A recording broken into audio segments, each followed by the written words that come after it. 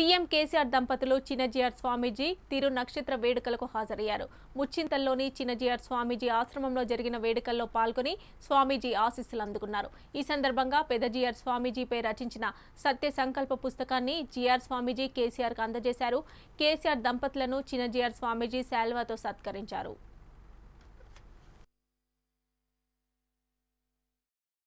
డ్రైవర్గా నేనే డ్రైవ్ చేసేవాడిని.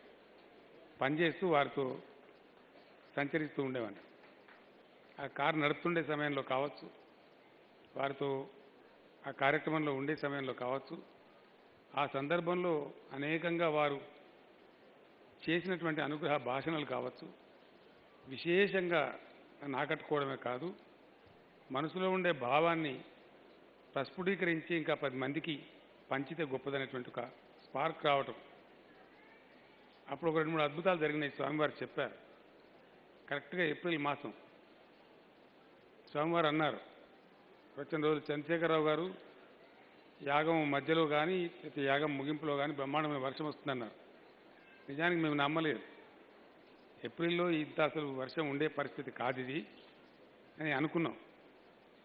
ఆ సందర్భంలో వారు చెప్పారు ముందు రోజే చెప్పారు.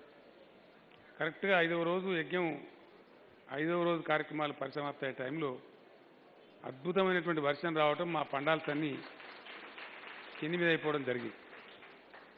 నిజంగా అక్కడ ఉండబడే వికాస తరంగిణి స్వామివారి భక్తులు ఎంత క్రమశిక్షణతో ఉంటారంటే ఎంత పనిచేస్తారంటే రాత్రికి రాత్రి మేము హైదరాబాద్ నుంచి ఆ పండాల్సిన తెప్పిస్తే ఒక్కరు కూడా నిద్రపోకుండా మళ్ళీ స్వామీజీ అక్కడ అడుగుపెట్టే సమయానికి అంటే తొమ్మిదిన్నర తొమ్మిది ముప్పావు సమయానికి యాజ్ ఇట్ ఈజ్గా మళ్ళీ మొత్తం అంతా కూడా ఏర్పాటు చేసి నిర్విఘ్నంగా మా కార్యక్రమాన్ని కొనసాగించాం.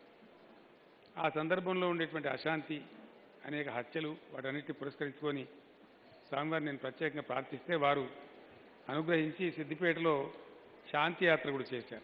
శాంతి మంత్రాలు జపిస్తూ ఆ పట్టణం అంతా శోభాయాత్ర చేశారు. చాలా లక్ష వేల సంఖ్యలో ప్రజలు అద్భుతంగా వచ్చినారు. ఆ బ్రహ్మయజ్ఞం కార్యక్రమానికి కూడా మా కుటుంబం కాకుండా మిగతా అంతా కూడా నాకు తెలిసి దాదాపు ఒక లక్ష పైచీలకు భక్తులు పాల్గొ